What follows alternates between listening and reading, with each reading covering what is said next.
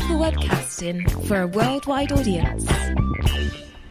You are listening to Radio Lewes, where the music matters, and this is the Rock Show. I'm Ben Fuller, and this is another of the Doing What They Do Best series. This time it's Iron Maiden. I promised you there'd be one. They've been around since 1975, formed in Leyton in East London. Hmm.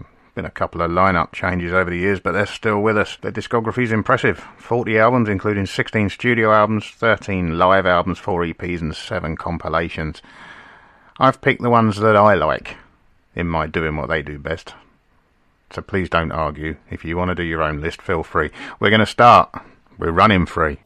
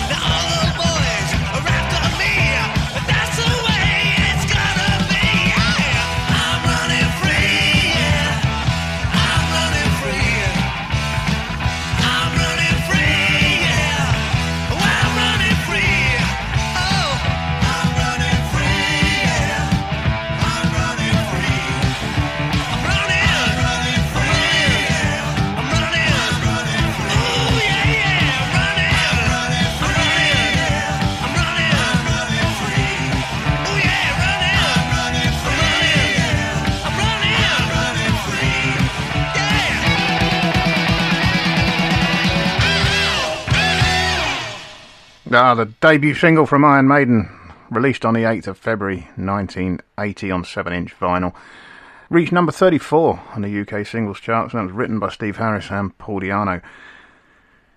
I'm not the biggest fan of Paul Di'Anno, so I very rarely listen to the first two albums, but I thought it would be churlish not to include them. So, next track is from Killers, and it's Twilight Zone.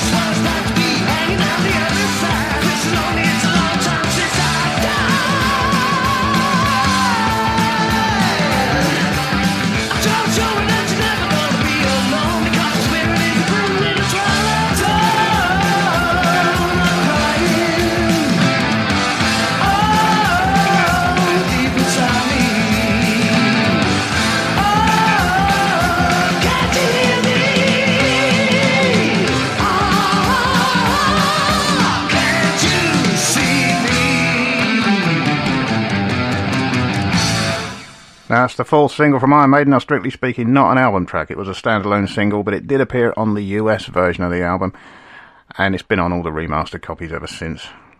So that's why I say it came from Killers. I've also got its B side, Wrathchild.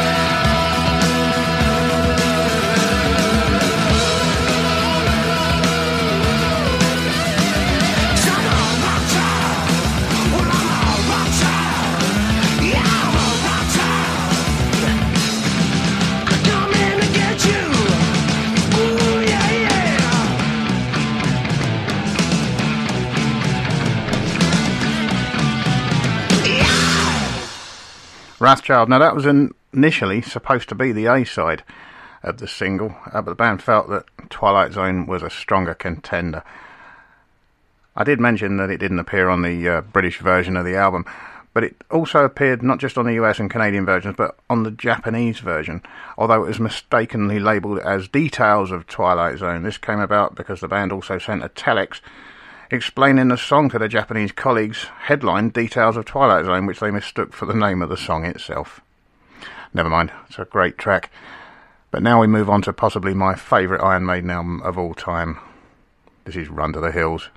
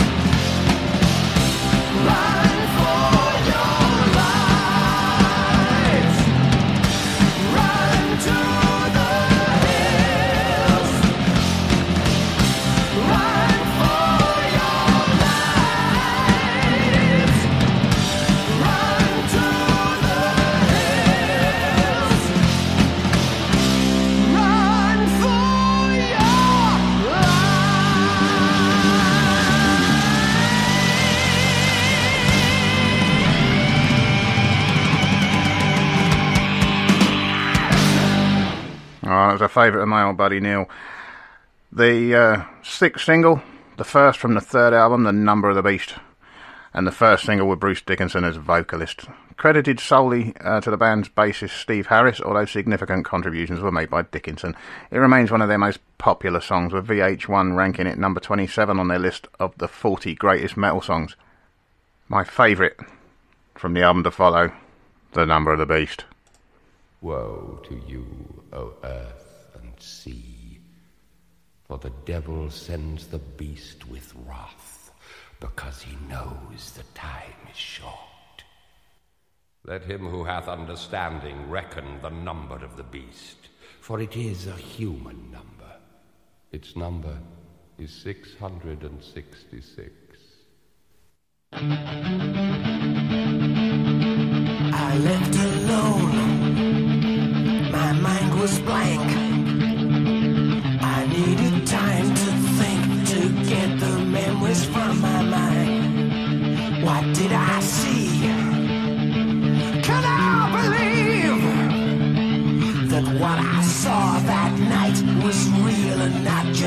Just fantasy? Just what I saw in my old dreams were the reflections of my Walkman staring back at me.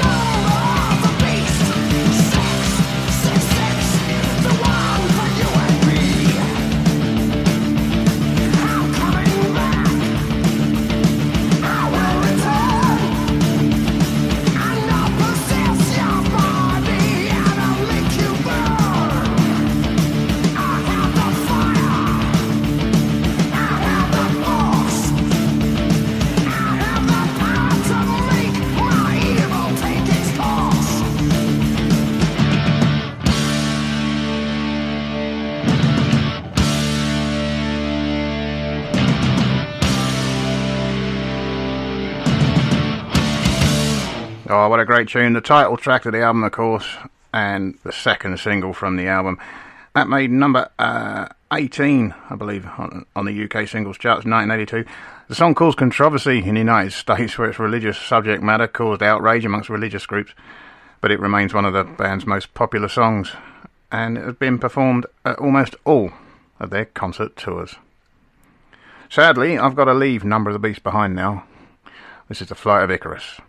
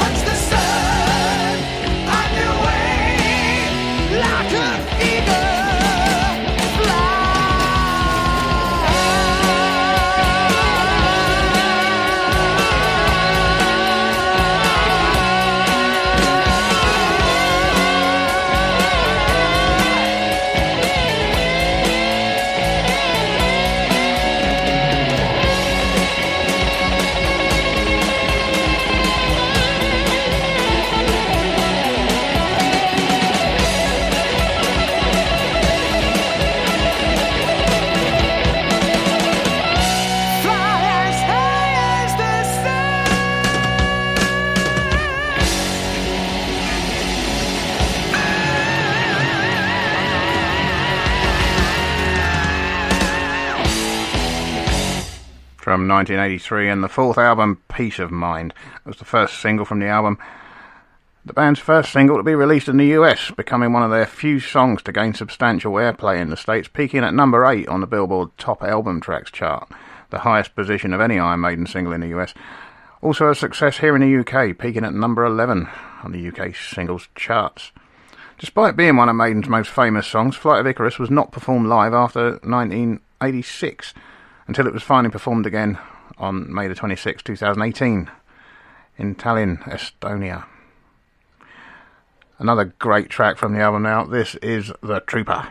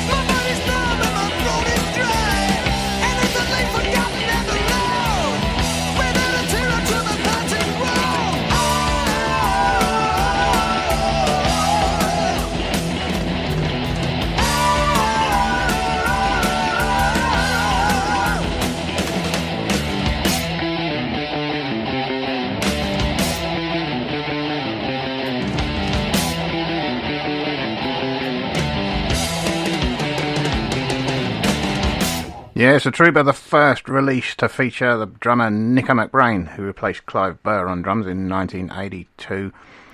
One of very few songs to get a lot of radio airplay in the States. It peaked at uh, number 28 on the mainstream rock charts over there and achieved success in the UK, peaking at number 12 on the UK singles charts. I'm probably going to upset some people with this show because I've missed a lot of albums out. There's too many to fit into an hour, and I didn't want to have to do a part two. But for now, we're going to uh, stick with the running order and take something from Powerslave, the wonderful Two Minutes to Midnight.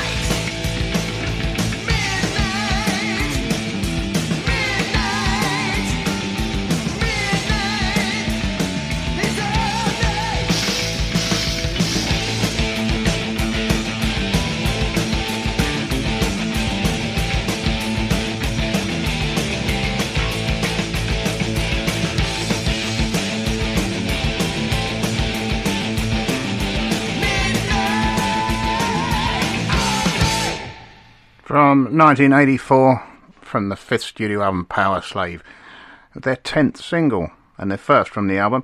It rose to number 11 on the UK singles charts. It made number 25 on the Billboard Top Album Tracks in the States.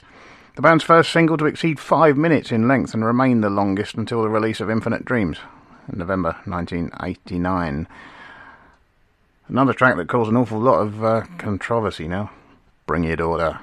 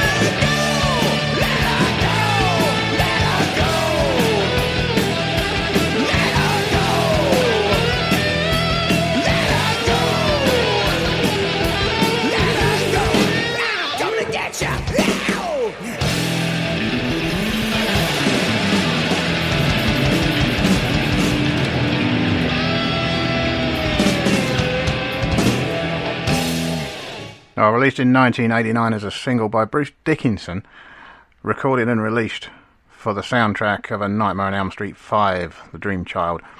But it appears on Maiden's No Prayer for the Dying from 1990. Steve Harris liked it so much when he heard the finished product that he persuaded Dickinson not to put it on his solo album, Tattooed Millionaire. And it hit number one here in the UK, uh, their only number one single to date in spite of the fact that it received very little airplay by the BBC. In fact, Top of the Pops refused to play it when it was in the number one spot. The song also topped the Finnish charts and number six in Ireland. I think it's fantastic, and uh, I'm not sure we need the Auntie Beeb deciding what our delicate little ear rolls can hear, which is why I played it because I love it. Next one is Fear of the Dark.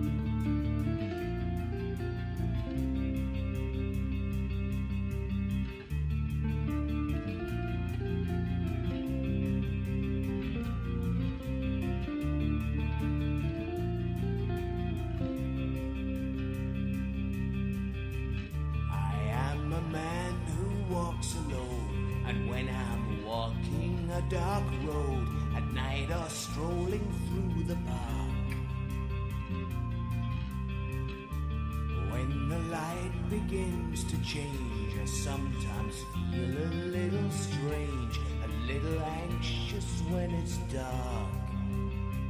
Fear of the dark. Fear of the dark. I have a constant fear that something's always near. Fear of the dark. Fear of the dark. I have a phone. We are that someone's always there.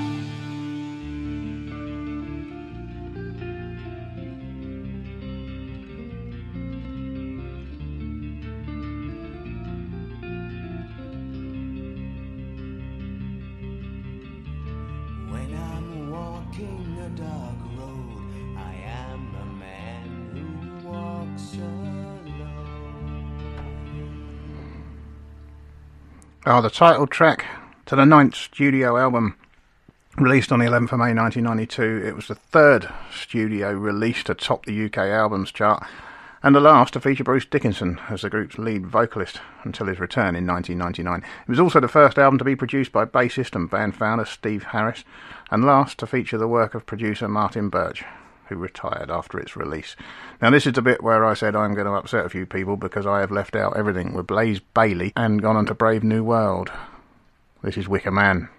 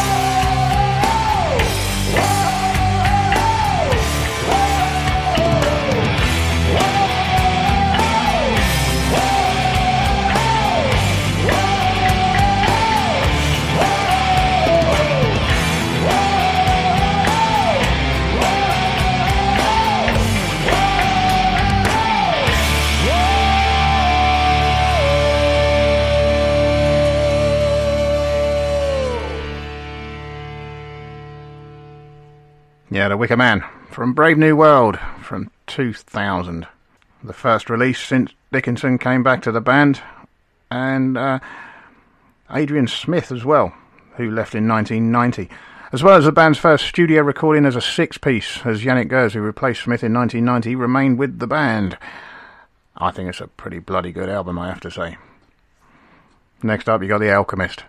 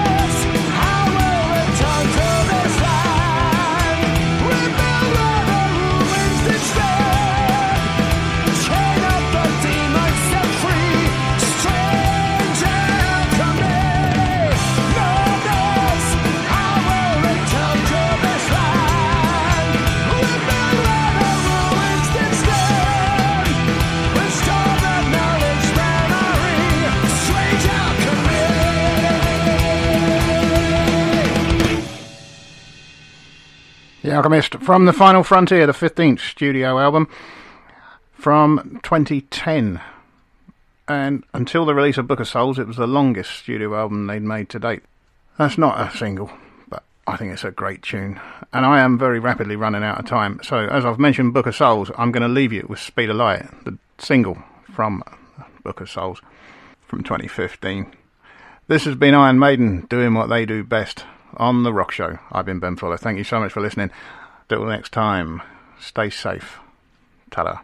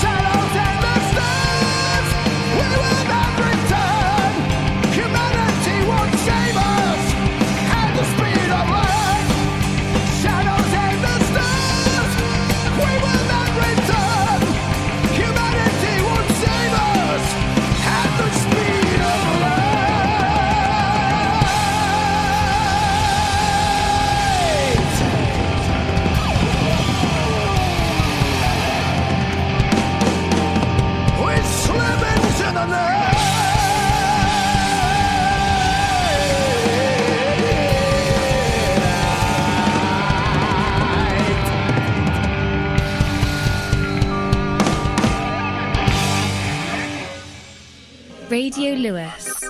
Local community community webcasting.